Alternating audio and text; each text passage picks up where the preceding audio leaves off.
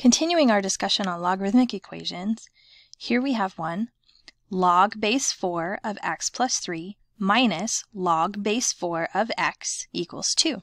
Now just like with our previous example, we need to somehow compress these logs into one log and then be able to apply properties that will allow us to get rid of the log by invoking this inverse function of the exponential.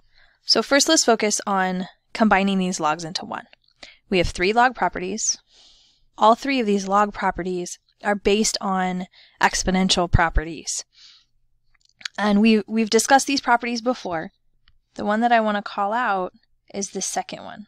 Notice we have a subtraction of logs, which means if we want to compress them, we need to divide their arguments. So we'll have one log, log base 4, and we'll put the first one over the second one, just like our property here says. And remember that that's coming from dividing with exponents. So a to the power m over a to the power n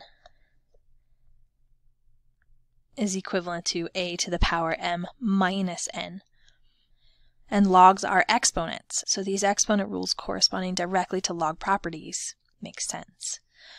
Now we have an equation with one log in it, so we can we can use the inverse function to get rid of the log. The inverse of log base 4 is 4 to an exponent.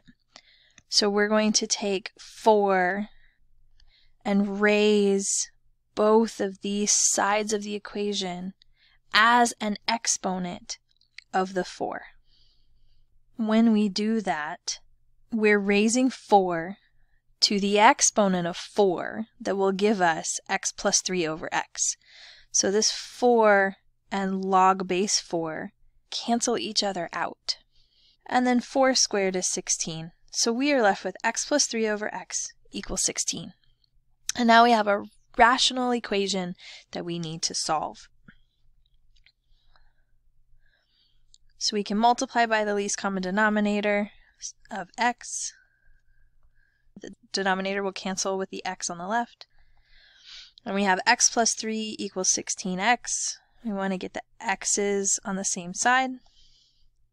3 equals 15x. We can divide by 15 and we get x equals 1 fifth, or if we want to write it as a decimal number, that's fine too, 0.2. Checking it, always important that we check our answer. We're going to go all the way back up to the original equation. Log base 4, 0.2 plus 3 minus log base 4 0.2. Does that equal 2? But we are allowed to use these properties of logs. So I'm going to combine this. Log base 4 3.2 divided by 0.2 and then try to figure out what 3.2 divided by 0.2 is. Oh, that's 16.